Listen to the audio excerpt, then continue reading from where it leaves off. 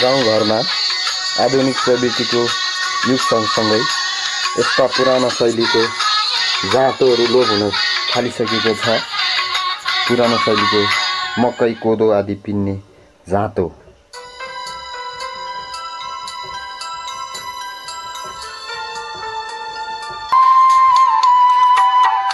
बाख्रा कुमाउ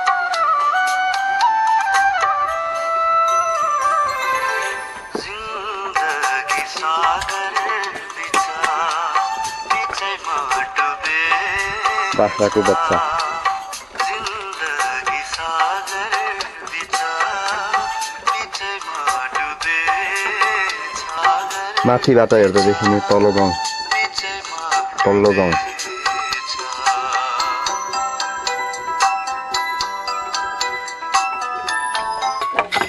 आधुनिक प्रवृत्तिमा विभिन्न पिसन र कुट्ने मिलहरू आए तापनि हाम्रो गाउँघरमा अझै ढिकीको चलन भने लोप भएको छैन हरा हराएको छैन।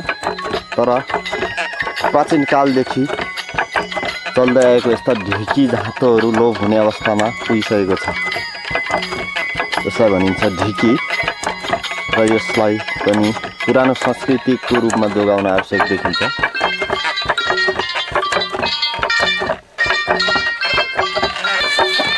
नाङ्लोमा खेलाइन्छ ओ शर्मिला मिलमा जाँदैन। मिलमा जाँदैन अचेल हाँस्दै रहेछ। मिलमा जाँदैन सपना। हँ? भने? मिलमा जान्न। हँ? मिलमा किन नगएको मिलमा किन नगएको?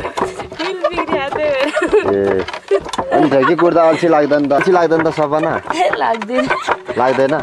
ढकीमा कुटेको चामल र मिलमा कुटेको चामलमा के फरक छ?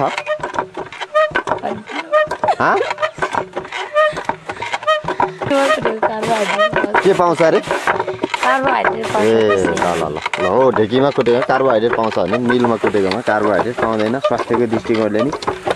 फाइदाजनक छ। पढेको अहिलेको शिक्षित महिलाहरूले बुझेको हुनाले सायद। पुर्ख्यौली पुरानो चलन चल्तीको पिसने र कुटने वस्तुहरू पनि लोप भएको छैन। गाउँघरमा कुकुरलाई पाल्ने घरपालुवाको आज्ञाकारी ड्युटी डक ब्युटिफुल ओबिडियन र गाडको रूपमा लिने कुकुरलाई पालिन्छ। अत्यन्त शिष्टता र गुणीको जीवमा लिने कुकुर हो यो। कान्छी ए कान्छी